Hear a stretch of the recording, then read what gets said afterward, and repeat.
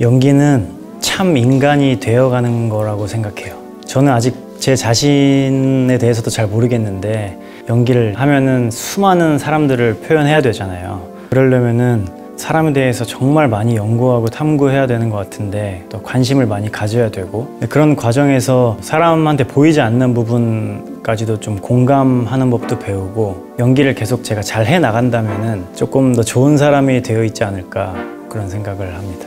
네.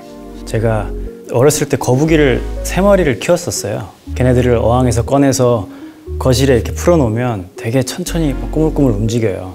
너무 느리게 움직이니까 이제 뭐 안심하고 잠깐 한눈을 팔면 싹 없어져 있어요. 다 흩어져서 어디 멀리 가 있고 막 찾아야 되거든요.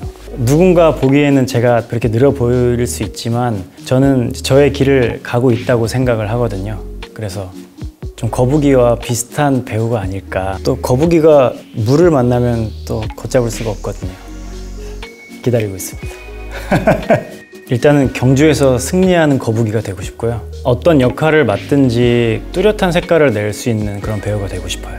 제가 예전에 몬스터볼이라는 영화를 봤었는데 어, 히스레저가 연기한 소니 역할이 되게 인상 깊었고 마음이 많이 남아요.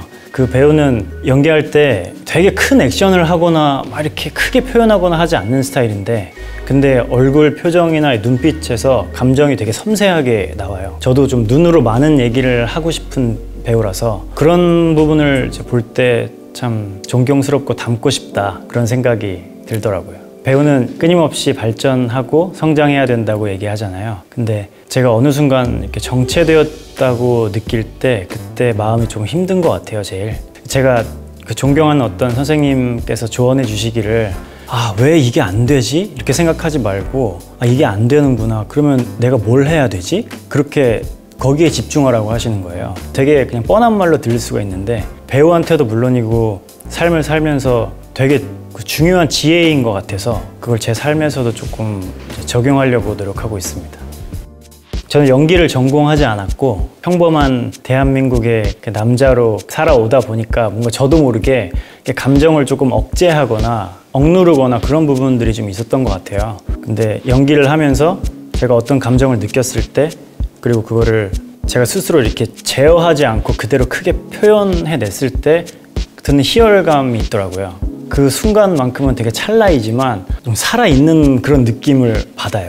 물론 보통 사람들이 다 자기 감정을 표현하면서 살지 못하잖아요. 저의 연기를 보는 그 순간만큼은 자기도 몰랐던 그 어떤 감정을 흠뻑 느끼고 돌아가실 수 있도록 하고 싶다. 소위 말하는 믿고 보는 배우가 되는 것이 목표고요. 10년쯤 지나면 조금 더 거기에 가까이 있지 않을까 그렇게 생각합니다.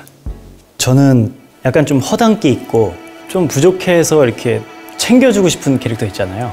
그런 캐릭터도 한번 해보고 싶고 겉으로는 되게 평범한데 속은 되게 차갑고 되게 냉, 냉소적인 그런 소시오패스 같은 역할도 한번 해보고 싶어요. 조금 추상적일 수는 있는데 제가 좀 더좀 그릇이 큰 사람이 돼서 제가 가는 곳이나 만나는 사람들한테 좀 선한 영향력을 끼치고 그런 사람들을 살리는 사람이 됐으면 좋겠어요. 그래서 제가 받은 좀 포괄적인 의미에서의 사랑을 다른 사람들한테 나눠주면서 살 수 있다면 참 의미가 있을 것 같아서 꼭 그런 삶을 살고 싶습니다.